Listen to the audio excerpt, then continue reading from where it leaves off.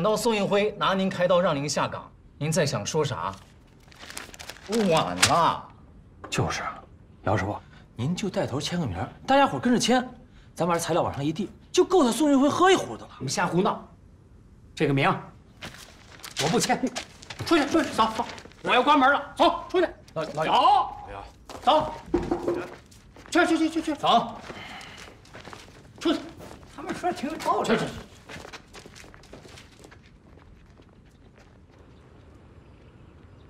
宋厂长，换谁下岗我都不至于这样，但姚宝林他不一样，他是建厂元老，在彭阳厂干了一辈子，是历年的先进生产者，还拿了省里部里的劳模。这样说吧，姚宝林就是优秀工人的代表，谁下岗他也不能下岗啊。可是根据考核制度，考核不过关的职工就应该下岗。这制度是人定的，咱不能教条主义。给姚宝林破一次例，大家也能理解。这事交给我，谁不理解，我去做工作，好不好？老王，只有凭借严格的制度，才能保障我们这支队伍的战斗力。如果制定了制度却不严格执行，那制度就形同虚设，其他职工就会有想法。你这么一弄，队伍怎么管理？我们还怎么要求人家？老王，我现在心情和你一样，很复杂。在情感上，我们舍不得放弃每一位职工，尤其像姚师傅这样的好职工。但制度它是公平的，也是无情的，在制度面前，任何人都没有特权。咱们现在为了拯救彭阳厂，就必须要做出牺牲啊！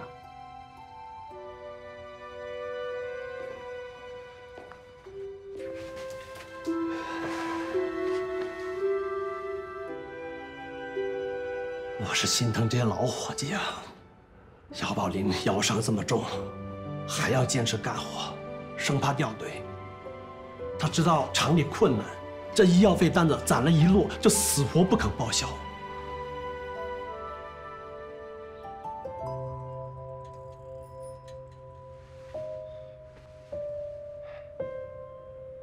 找个时间，我们去看看姚师傅吧。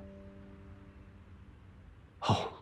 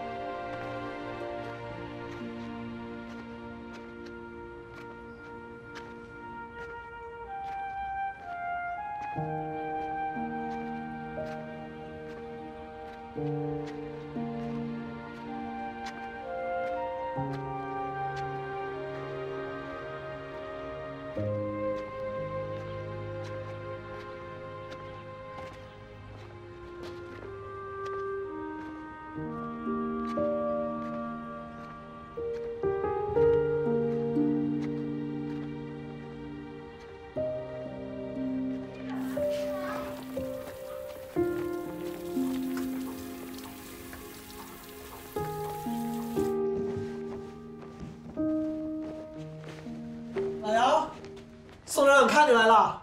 姚师傅，哎呦，王厂长，宋厂长来了，快坐快坐！哎哎，淑珍，赶紧给厂长倒水。快坐快坐，哎，坐坐坐坐坐。老姚，嫂子，你们是干嘛呀？哦，呃，本来呢想收拾好东西之后啊，呃，再去跟你们告个别。告什么别？呃，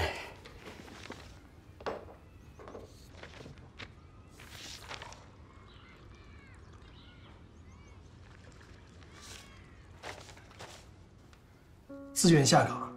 老姚，你怎么有这种想法？哎，我不能拖厂子的后腿呀。谁说你拖后腿了？不就考核成绩有点落后吗？没关系，下个月补上就完了。是，哎，厂里的好意我领了。他终归得有人下岗，年轻骨干呐留下来，我们这些老同志下岗，呃，给厂子减少负担，也是我们最后做出的一点贡献。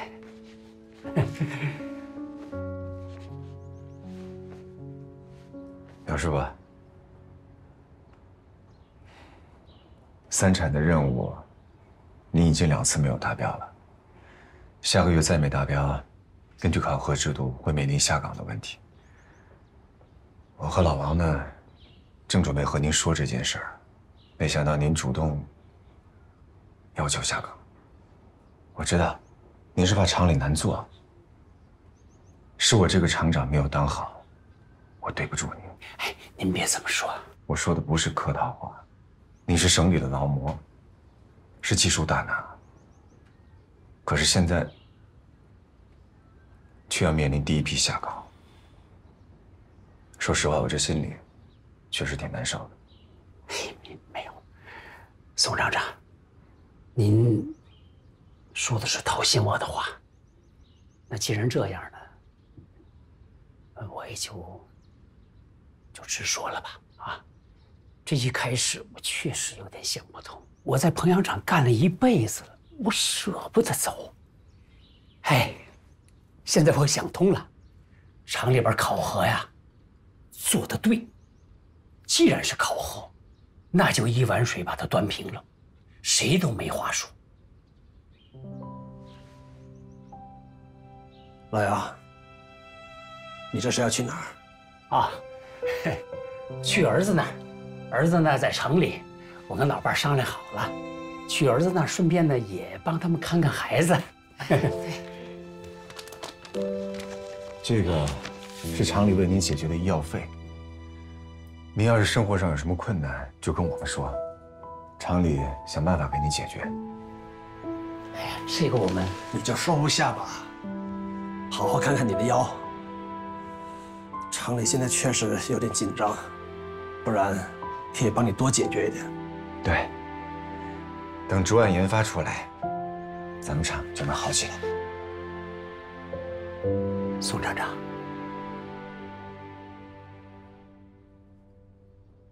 您说，咱彭阳厂真能好起来吗？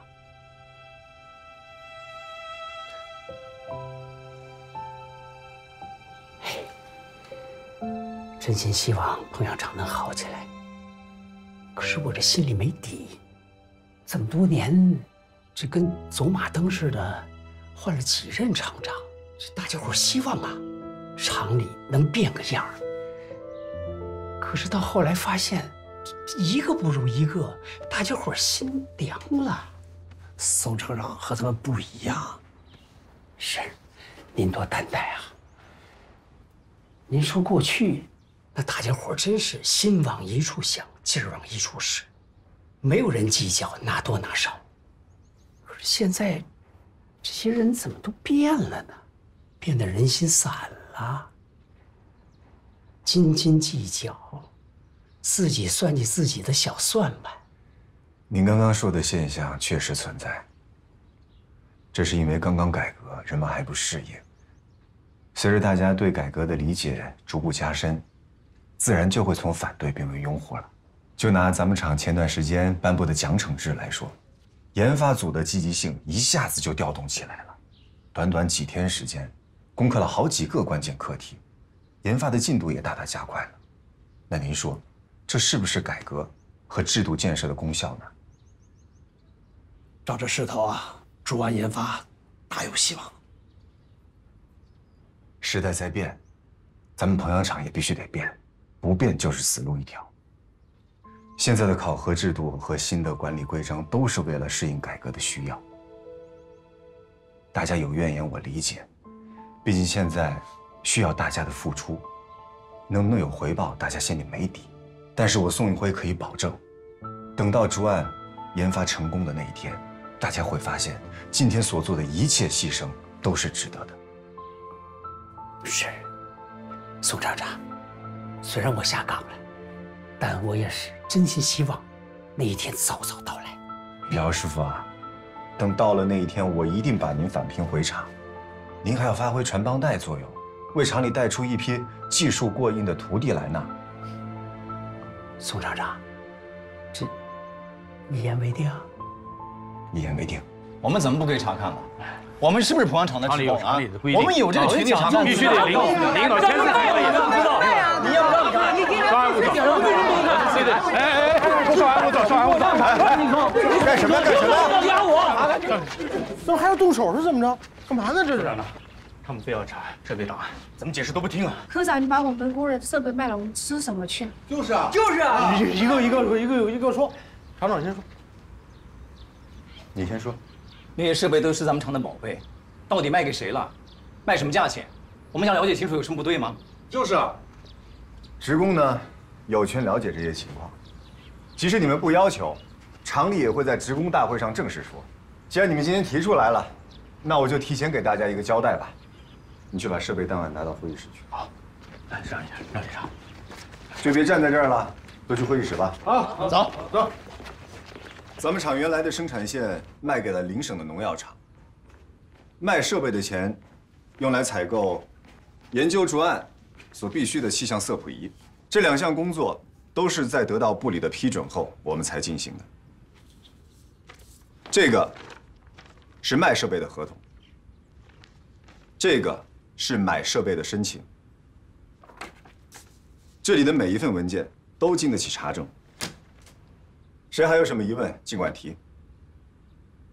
宋厂长，不是我们故意要为难你，其他厂的情况我们也听说了，有的厂快倒闭了，厂长公然还在用公款旅游吃喝，最后把厂子一卖，钱归他自己。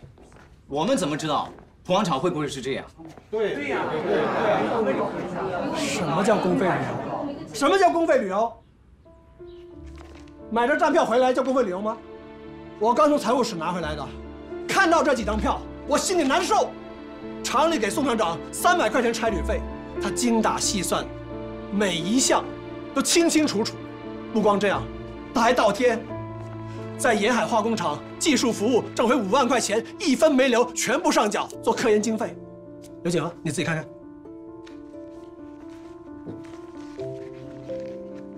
宋厂长本来可以去国化化工，但他没走。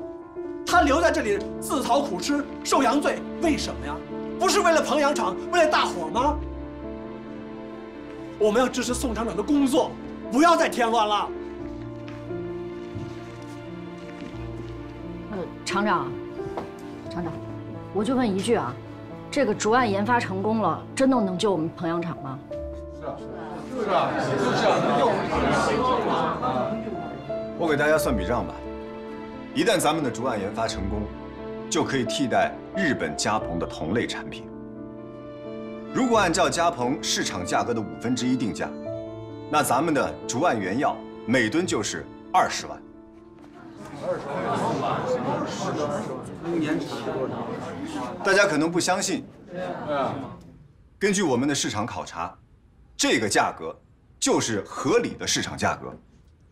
根据咱们彭阳厂的产能。预计年产量在一百吨左右。而且将来啊，我们还会添置新的设备，组建新的生产线，咱们厂的产量、生产效率、产品质量都将得到大幅提升。但是这一切的前提，就是竹案研制成功。这就需要我们全体职工心往一处想，劲儿往一处使，大家拧成一股绳。为研发部门创造条件，保障研发工作向前推进。当然，除了产品和技术，咱们厂还有一件传家宝，就是爱厂如家的精神。说到这儿，就不能不提姚宝林老师。哎，作为老劳模，为厂里贡献了那么多，当厂里遇到困难。为了不给厂里拖后腿，姚师傅自愿提出下岗。啊，当然，厂里不会就这么让姚师傅这样的好职工一走了之。在保证厂子恢复生产以后，一定会返聘姚师傅回厂，因为我们珍视这种爱厂如家的精神，希望这种精神能够传承下去。我说过，咱们彭阳厂不会垮，底气就在这儿。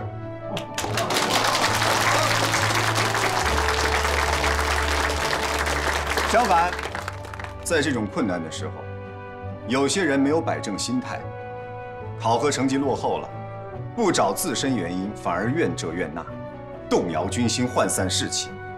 今天我有言在先，希望这些同志能够及时纠错，不然毫不客气地说，明天被淘汰下岗的必然是你。东宝，这几年你进步啊。这是损我呢！这次出来是办啥大事啊？还是那啥微服私访啥的？我又不是八府巡案，哪有什么微服私访？这次就是来邻省做点调研，趁着返程来看看你。哎，你还能认我这个人？我真不知道该说啥好。别这么说，你出来一年半了，不是干的挺好的吗？那个电缆、电线集群，还有小雷家的铜厂，发展势头都很迅猛。我这些在你那儿那都小场面，不值一提。东宝，自打你从监狱出来，一次电话都没给我打过。你是不想利用咱们这层关系？这我都看得到。但是这回，我得给你张嘴了。小辉，你得帮帮他，他太难了。要给扔到那小厂子里头，没人管，没人问，上面一分钱都不给，他还得带着老小工人，饭都吃不饱，还得搞啥研究？上个月我去看他去了，瘦得跟杆儿似的，觉觉睡不好，头发头发一把一把的掉。他姐要是看见了，还不知道得怎么心疼呢。东宝，你知道为什么小宋他们这个厂会有一年的时间来搞研发？帮忙了，我确实说话，但是。主要还是小宋他们部委的领导，愿意再给他们一次机会。这不但是上级对宋运辉的信任，更是希望以彭阳厂为试点，尝试探索一条中小型国有企业改革的新路径。搞活国有企业这个话题，几乎伴随着改革开放同时就被提出来了。国家用尽了各种办法，放权让利，承包经营。厂长负责双轨制，可是总是跳不出一放就乱、一抓就死的怪圈。企业工厂越改越离不开政府，这不符合社会主义市场经济的大原则。那小辉是想搞搞这个国有企业改革？对，他对彭阳厂提出的改革方案很有亮点，尤其是在主要产品被砍、断了上级输血之后，他提出要面向市场搞科研。要充分利用市场资源，推动和促进科研生产发展的这条思路，很对我的胃口。科研生产必须要摆脱计划经济这条轨道，只有面向市场，才会有实际的突破。我就说嘛，像小辉这么有本事的人，上面不可能看不见。东宝，东宝，徐书记，怎么了？孙县长来了，还有市里好多领导，他们怎么来了？我不知道啊。不是谁嘴那么欠呀？东宝，这事儿也瞒不住，没事走吧。哎，是是是。我来。徐省长，哎呦，好久不见，好久不见呐！青山，你一点都没变。哎呦，变了，变了。头发都变白了。他刚才叫老徐。听说老领导回了咱们县，咱们县里的同志们啊，大家都很激动。我和方书记啊，一直想当面给您汇报汇报情况。哦，还有市里的领导，万一些也会赶过来。好，那我就客随主便，听你们安排。哎呦，你真是开我的玩笑，我哪敢安排您呢？明天我回北京，时间还比较充裕，那我们就座谈一下，让我也充分了解静陵县的发展成绩。哎呦，那太好了，这个机会可太难得了。我一直想请徐省长啊给我们指导指导工作，一直都没这个机会。哎，那来吧，上车。哎，东宝，嗯，走，后一辆车。哎，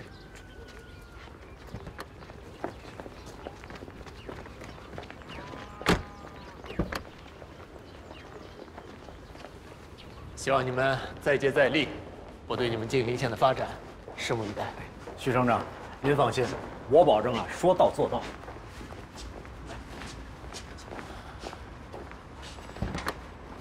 欢迎啊，您常回来。好了，金山就送到这里吧。再见，省长。东宝，哎，在这儿呢，徐省长。我和东宝再说两句，你们先回去吧。好徐省长，再见啊！再见啊！再见再见。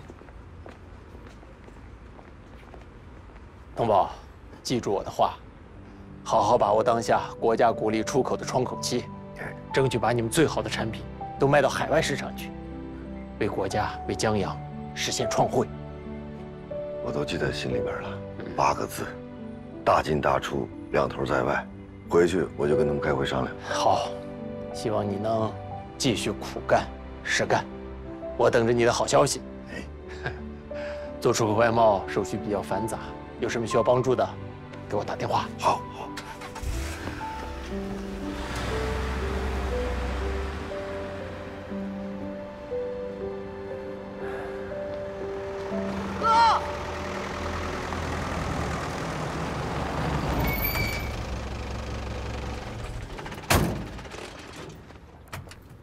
大领导送走了。哥，吃完了？你俩咋来了？接你啊！不光我俩，全村有头有脸的都来了，都在饭店等着呢。哪个饭店？嫂子饭店啊，都等着给你开庆功会呢。庆功？庆哪门的功啊？你俩主意啊？不是，大家伙商量呢。哥，你别谦虚了，全村人都看见了，你上了老徐书记，啊不是徐省长的车，那县长都得在你腚后边跟着。那这么大的事儿，咱不得庆贺庆贺？对呀，哥，村里都传开了，说东宝哥这次肯定能把小雷家两年前折的面子全都找回来。那见见吧。走。不是那个龚书记叫上了吗？啊，四眼去叫了。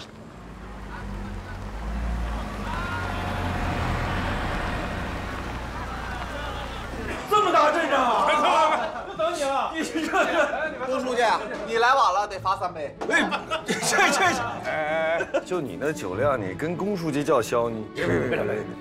这样啊，四宝说的对，我来晚了啊。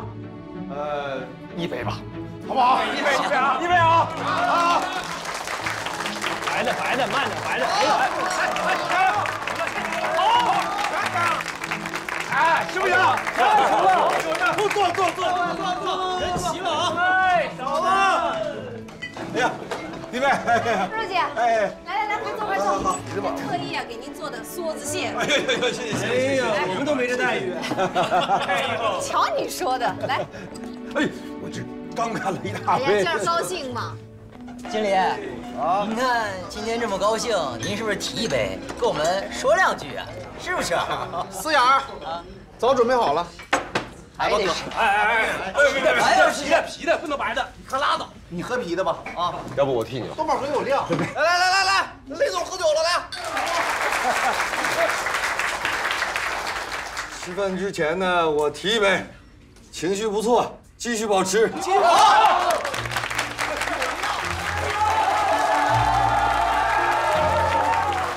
少喝点，吃点菜。高兴，多喝两杯。高兴高兴，去忙。行，都发话了，大家好吃好喝啊！好，优秀，走吧。来吧，那咱们就集体来一下吧。好，来来来，一起来一下。我换啤的，我换啤的。来干，干了干了干了啊！皮的，哎，我。今天徐省长还有市里那些领导有什么指示啊？嘀咕嘀咕，要不然一会儿就喝多了啊。还真有，但我就不告诉你。行行行行行，回头会就说呗。大家伙为了等你，连个东西都没吃呢。都没吃呢啊！你就说完，大家一起吃。什么事儿啊？说说呗。你们都不知道啊？问半天也不说，你说那就跟大家伙说呗。什么好事啊？啊，说说。来来来来来，来安静一下啊！啊，听着啊！来来来，静静。这个徐省长啊，今天呢给咱们指了一条金光大道，市里县里的领导们听了之后都拍着脑门子说好。那是啥路子呢？让咱们做出口，把咱们的电线电缆卖到国外去，赚洋鬼子的外汇。老徐啊，那以前是咱们金陵县的老领导，跟你爹还搭过班子呢。我知道，我知道。后来回了北京，管过出口贸易，他一直想着咱们小雷家，想帮帮咱们。可咱们以前是啥呀？官老爷卖凉粉，人硬货不硬，质量、名声都够不上老徐那只大手的帮衬。可现在不一样了，那自从龚书记来了，咱们雷霆的架子做大了，是时候该咱们乡镇企业出口创汇了。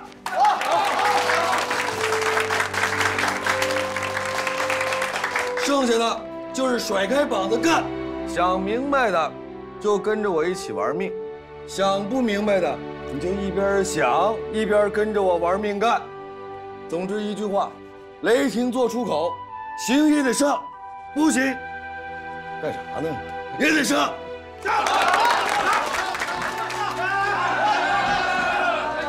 就是玩命干，听明白了？上，必须得上。对。来来来来我知道我今天又自作主张了，我检讨。完了，不是，啊，春红啊，你拿瓶酒过来。别别，我给龚书记赔罪。还喝呢？你这是不想让龚书记回去了是吧？丁薇薇，他开玩笑，你去拿进去。别别别别别，丁薇丁薇，不能再喝了，再喝呀就谈不了正事儿。行，那我给你们沏杯茶。好这个行先聊着。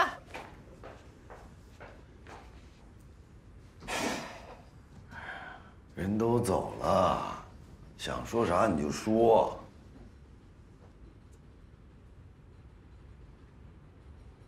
老徐，让咱们雷霆转型做出口，啊，机遇很大，但是你想过没有，难度比机遇更大。那我就问你啊，老徐说的这事儿好不好？好啊，你支不支持？我支持啊，那不就完了吗？哎，好好好好好，这个行。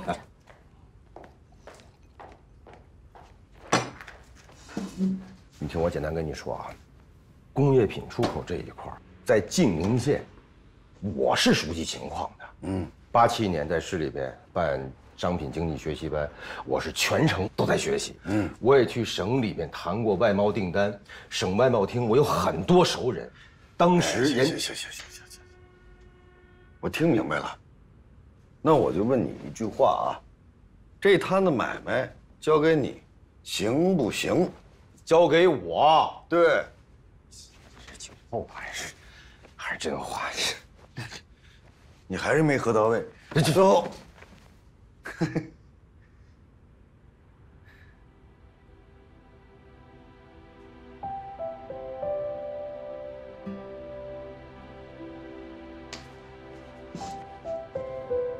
交给我。嗯，做不成，老子一个人负责。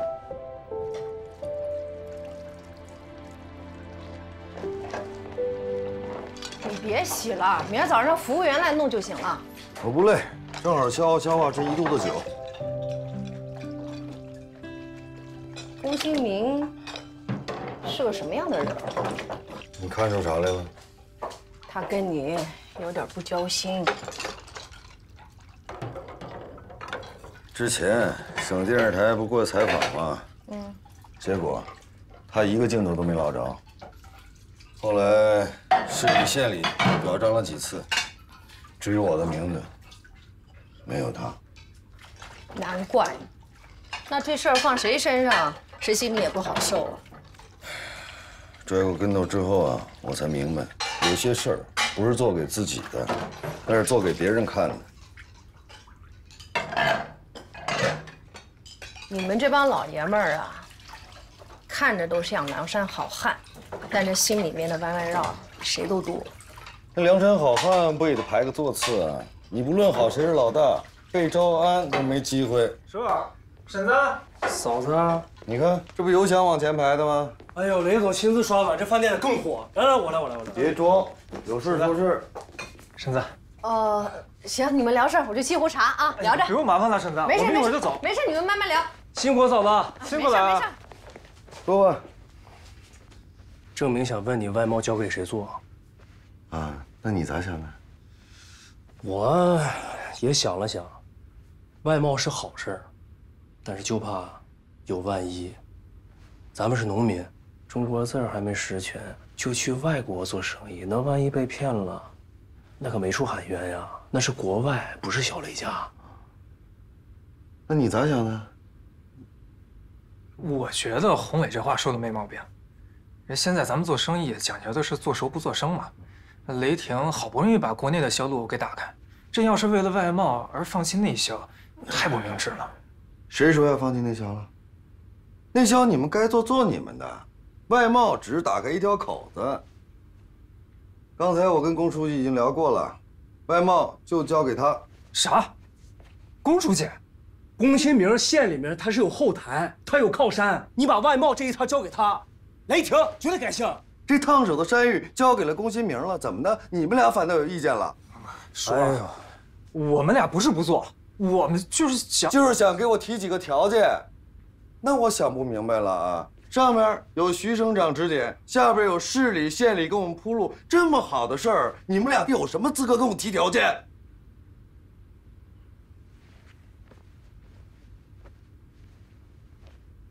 跟了我这么多年了。没有功劳也有苦劳，这事儿我记着。可是不管怎么样，不能躺在功劳簿上睡大觉。这几年国内的形势看不明白吗？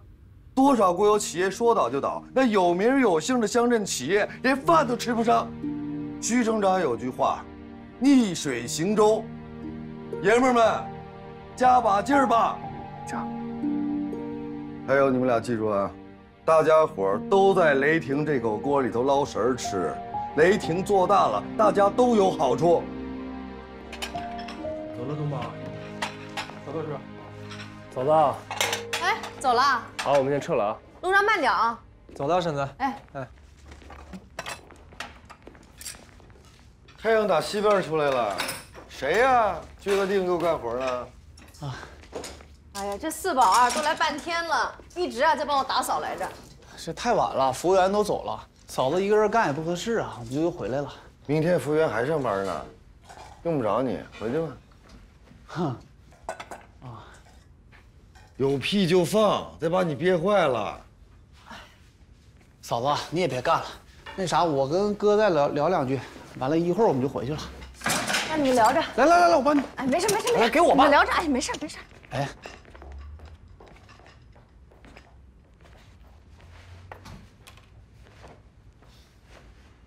哥，外贸那个事儿，你打算交给谁呀？交给你俩，干不了。啊，我俩干不了。但是你交给宏伟和郑明也不合适。为啥？宏伟姓史，不姓雷，跟咱不是一家人。那郑明呢？郑明跟你不是一条心。今天你跟许省长去钓鱼。龚新明召集全厂的工人在新车间门口开会，耀武扬威。我看着心里边不舒服，我就跟郑明骂龚新明来着。你猜郑明怎么着？他没表态。就这把你得罪了？呀，这可不是小事。他郑明心里要是有你，那句话怎么说来着？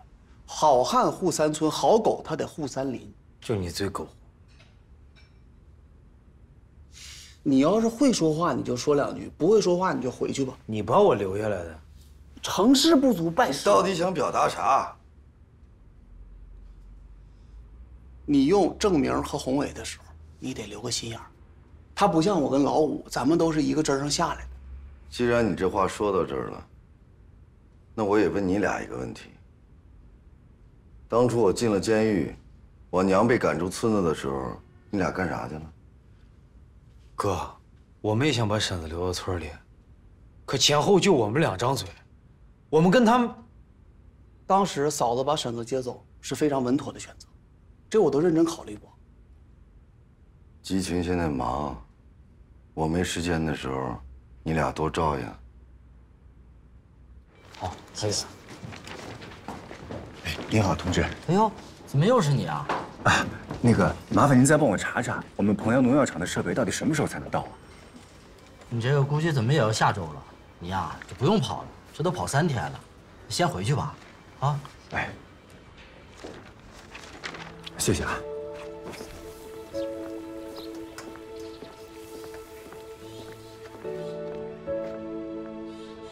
宋厂长，小李，有事吗？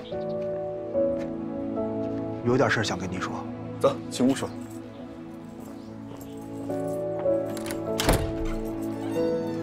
来，进来，坐吧。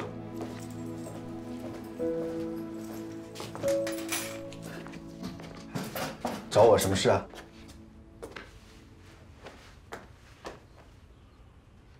厂长，我想走，你把我下岗了吧。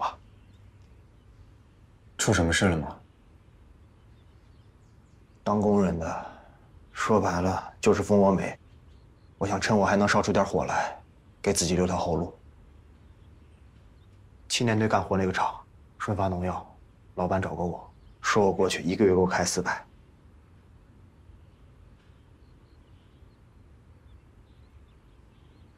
小李，我呢和老王他们商量过，你呢肯吃苦，技术也扎实。等咱们厂的竹案研发出来以后啊，提你当工段长，一个月能开到一百六，如果效益好的话，加上奖金，一个月能拿两百多。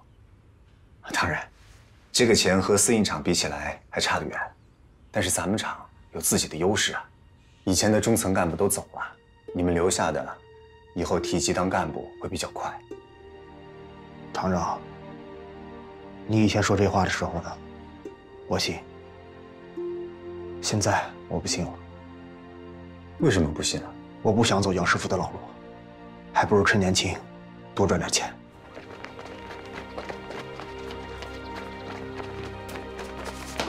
走走，宋厂长，他就是脑袋一时不清爽，你别当真，走吧。你说，你别逼我动手啊！我给你留着面子呢。我告诉你，困难是暂时的，只要竹案顺利研发出来，咱们的日子肯定会好起来的。你再给我坚持坚持。你们没有养家的负担，可以为了理想不顾一切，可我不行啊！我有老婆有孩子，一大家子人等着我拿钱回去吃饭呢。小李，你有你的难处。对厂里现行的政策和制度也有你的意见，但我希望你还是好好想想。如果真的要走，我绝不强留，好吗？给你几天时间，想好了再来找我。再想想，走走走走，再想想。我想好了，我要走。说了给你几天时间，你着什么急啊？我不想走姚师傅的老路，临了快退休了，还被人逼着下岗。谁逼姚师傅下岗了？李成亮，你说话给我注意点啊！可以，小李，我尊重你的想法。回头你写个申请给厂办，我给你批。谢谢厂长。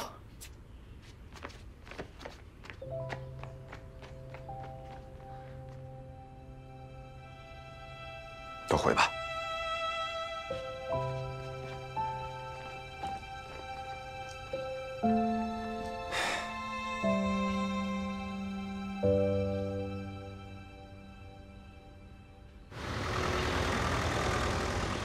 您小心脚底下。好。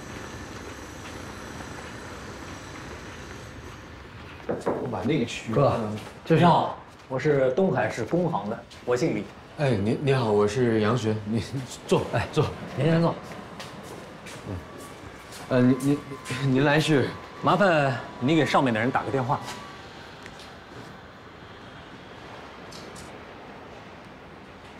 不好意思，问一下啊，你打就可以了。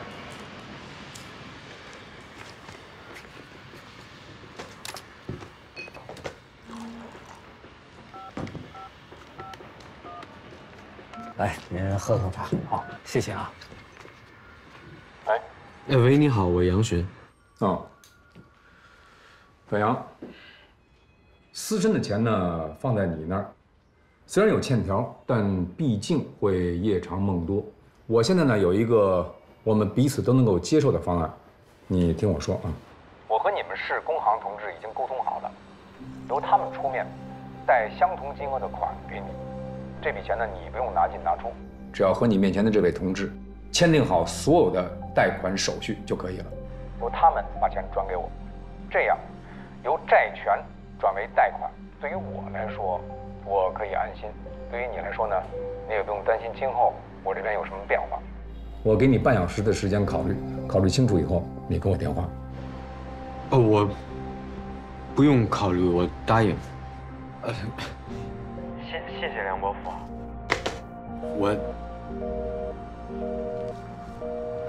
梁经理啊，那我们先到财务室办齐所有的手续，然后跟着我去工行开一个新的账户，就可以办理贷款了。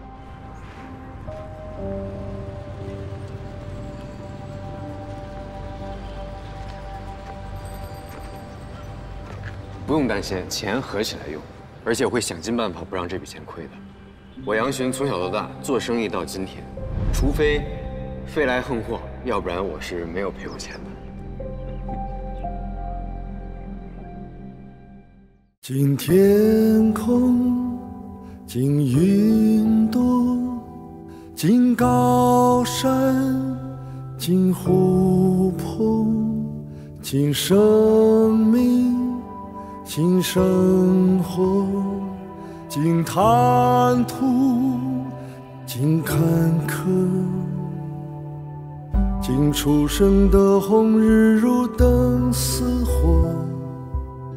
尽闪亮的日子，光阴如梭；尽种子万户归藏，水滴汇聚成河；尽希望，尽收获；今潮头伫立；今沐天放歌；今远山巍峨。大海磅礴，今岁月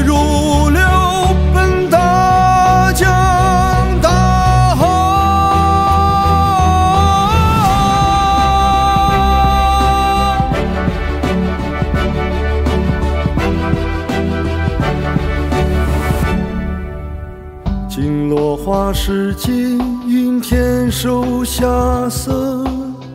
今木叶秋深，池满水晶幽。今尘埃荡涤沙砾，今平凡的你我，今世间温柔，世间多么，今生命蓬勃，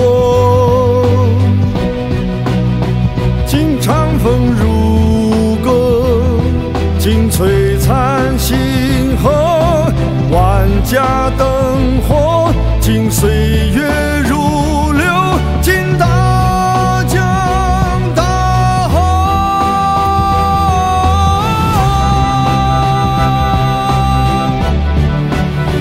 今过往，尽未来，尽现在。